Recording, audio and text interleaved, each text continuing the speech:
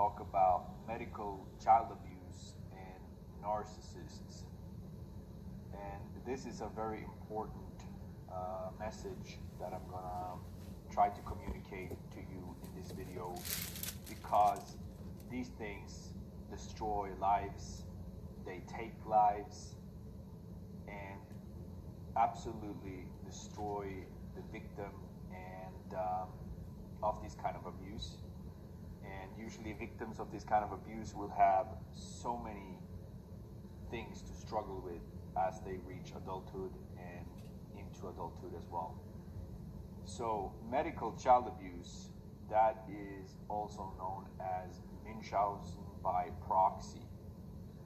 Um, this is not a very common topic to talk about when we talk about narcissists. It's not very common to talk about at all. Um, and this is also a very underreported uh, form of abuse of children. And I have made a video on this before where I talked a little bit about my own experience as a child growing up and being, you know, medically child abused. I don't know if that is even a term, but medical child abuse, I'm just going to try to explain to people what that is. And this is, this used to be a diagnosis that was called Munchausen by proxy. And uh, I guess it's also still referred to as Munchausen by proxy. And what that means is basically that the person, and it's usually uh, mothers that do this to their sons, but they will also do this to their daughters. But the typical scenario is a mother and a boy, kid, child, but also a mother and a daughter. Uh, fathers or dads, you know, they they also do this, and but it's you know, I think it, it's like 90, I don't know, but it's like over 90% of the cases is, is mothers. Uh, what will happen is basically that uh, the mother will go to doctors with her child, present her child as sick. Uh, the child is not sick, and the mother know that the child is not sick. Um, very important to to to get in there. The mother know that the child is not sick. And the reason the mother is doing this is to look good. It is to get praise from the doctors. It is to get praise from the nurses. It is to look good to the external family as well, so they can, you know, call people and tell them that how much they have done, you know, for their child, so that they get uh, validated, seen, and praised. This is narcissism at its absolute worst and darkest. Because what these mothers, and I'm saying that loosely, will do, they will put their children through meaningless medical tests, endless medical tests, painful medical tests to get this feeling of reward, of being seen. They don't care how much pain their children have to go through for, for, for them to be seen as a good mother. And like I said, the mother know that the child is not sick. And these mothers are extreme manipulators. It's, it, it's not possible to even explain it, but I will try. What they will do, like I said, is they will go from doctors, from different doctors, because usually if they don't get their needs met at one doctor's place, they will just go on to another doctor and drag their children or their child, it's usually one at a time, uh, around to different doctors to get the answers that she want. Um, and some doctors might cave in, they might give in and start to give her children medication that the child absolutely doesn't need. And the mother will put, you know, her children on medication that the child doesn't need, again, to look like a good mother. sometimes the mothers will also induce sickness in their children, meaning that they will actually make their children physically ill, either through poisoning, food poisoning, uh, giving too much salt to their children. When remember, this goes on when children are usually infants and very young. This can also go on when children are older, but usually this is happening when the child is not able to talk or to answer. Other things these these um, mothers will do is um, they will starve their children, not giving their children food and water or something to drink. So the, child, the children will dehydrate. And this can cause serious um, and deadly implications for the child. They might dehydrate, they might get kidney problems, or basically die from this mistreatment and abuse. And all of this is done towards the child so that the narcissistic mother, which usually is also a psychopath in these instances, will get her feeling of being a good mother. So this mother does not care if her child dies. Well, she cares about it to the extent that she, a lot of these don't want the child to die because then they lose this opportunity to to look good, but they don't care about the pain or anything. All they think about is how they look. All they think about is how other people perceive them and they do not, it doesn't even enter their mind how the child is being treated. It's all about supply, it's all about being seen, it's all about being looked, that people look upon these people as good mothers, as sacrificing mothers. And like I said, this is narcissism at its most extreme and disturbing. And the children that grow up in this kind of environment has been severely abused.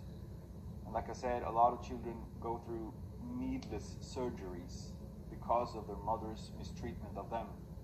And they will often get, you know, um, contradicting stories about what happened to them. So in this, in these kind of families, usually the mother is, you know, she is the supreme leader nobody else gets to speak to this child of hers because she owns it basically like a doll. She treats it like a doll, uh, and she thinks she can do anything she wants to this child.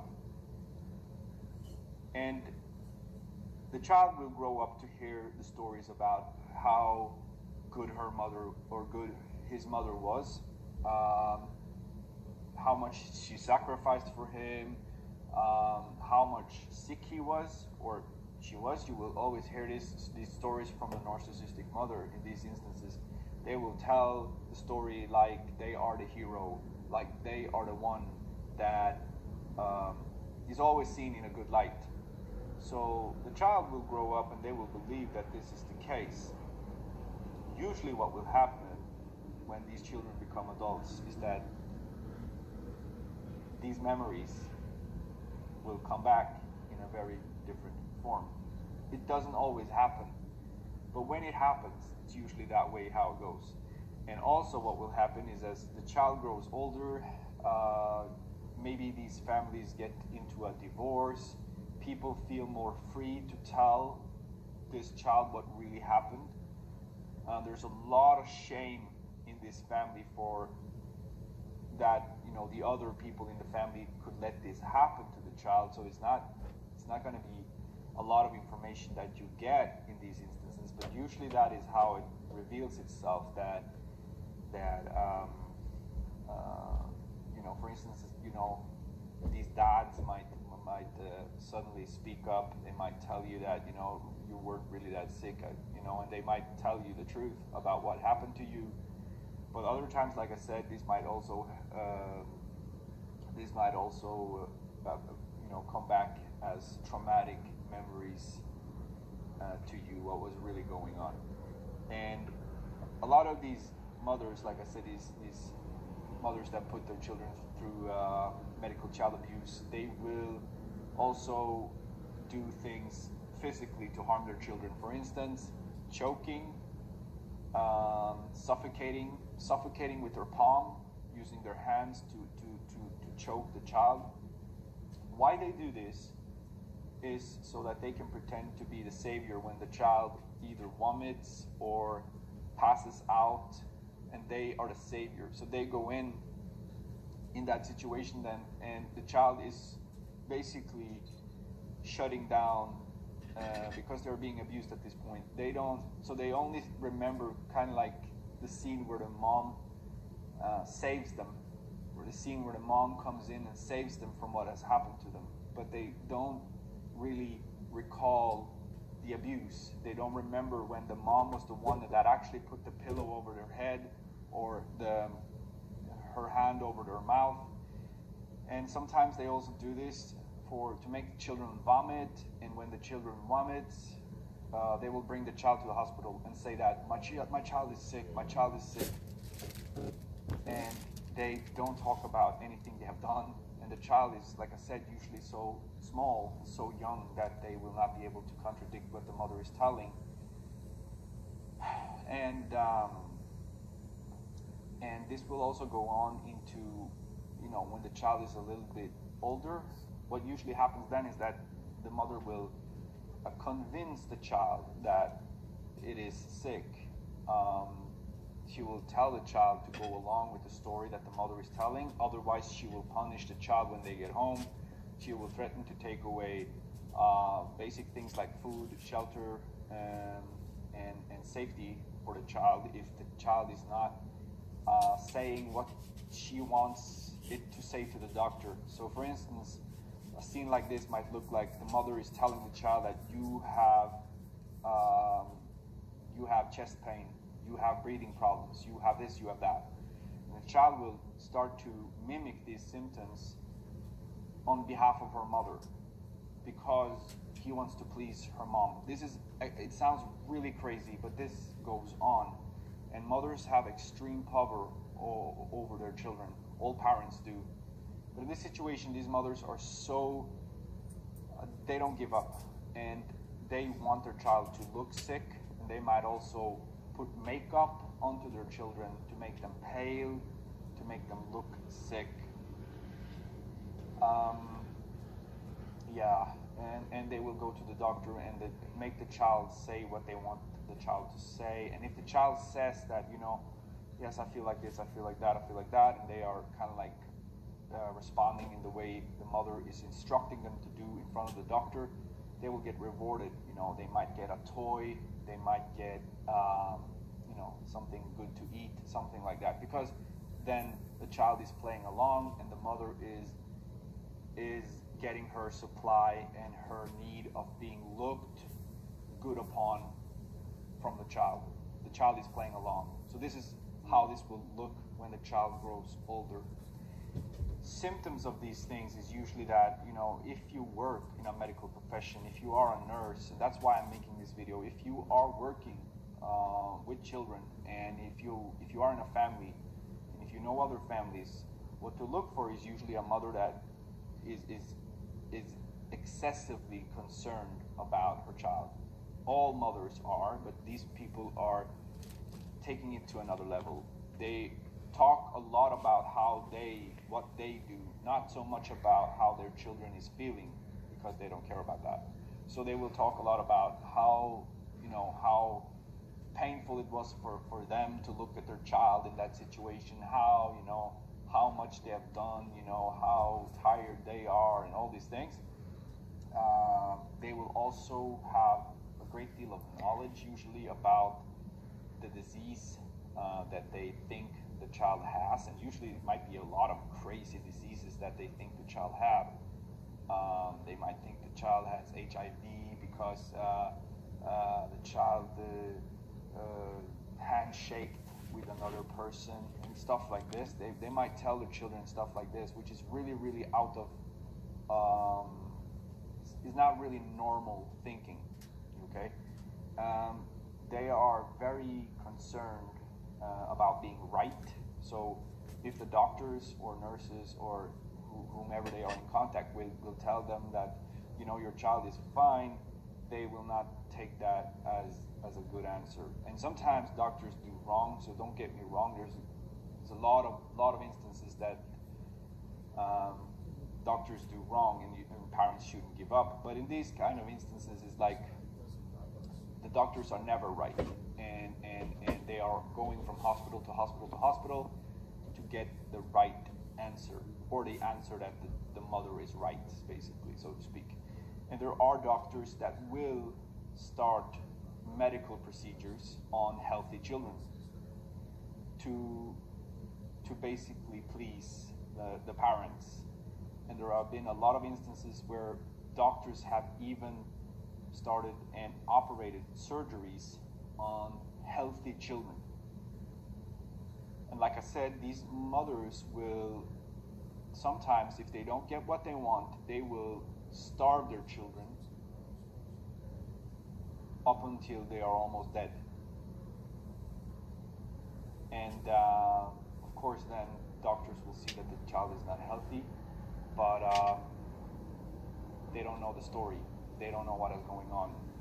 These mothers will then tell that uh, that my child doesn't want to eat, doesn't want to drink, and the true story is that the mother is depriving the child of food and water or food or fluids. So, uh, I'm going to talk more about this topic, and this was like uh, a reintroduction to the topic because there's a long time since I've talked about this, and the first video I made was more about, you know, a little bit about my own personal experiences. And the thing that I'm telling in this video is things that I, not all of it, but most of it is things that I, I have experienced. Um, it is horrifying. Um, it helps to talk about it, it is basically like living with the devil himself. And it pretends to be your mother. And everything these people tell usually is a blatant lie. That's what you realize when you grow older, usually. Um, but like I said, this is a reintroduction to the topic. I want to talk more about this because I want to make people aware about this. This is happening um, to a lot of children, and this is heavily underreported because nobody nobody uh, saw through what uh, happened in my instance. Nobody understood what was going on, and it went very far. Um, and even now, nobody has really been held accountable for what happened, and that is usually the, the, the way things happen. It, usually, these people are not they are not um, they are not caught, and people do not uh, suspect these people even of what they're doing because it's very difficult for a doctor or nurses to suspect that the mother is hurting her own child. It's kind of like the last thing they think about. Think about that, you know. You don't want to say that. You maybe you did this to your own child. You know, a doctor don't want to say that. they are not caught, and people do not uh, suspect these people even of what they're doing because it's very difficult for a doctor or nurses to suspect that the mother is hurting her own child. It's kind of like the last thing they think about. Think about that, you know. You don't want to say that. You know, maybe you did this to your own child. You know, a doctor don't want to say that, but that is what happens in, in, in some instances. In some cases, that is happening. It's it's a absolute perversion of human nature. Absolute perversion of how a mother should be. So, um, yeah, uh, and this links these all of these people are narcissistic. Um, some of these mothers have also had traumas as a child, and some people say that it's a way for them to relive their own traumas. But I mean, uh, for me, it is basically I have seen this, and it, it might be some of the cases it is like that, but this is really you you deal with people that have absolutely no empathy whatsoever, and they are all only thinking about themselves. So yeah, I'm, I'm, like I said, I'm gonna make uh, videos on more on this topic and uh, to talk about this uh,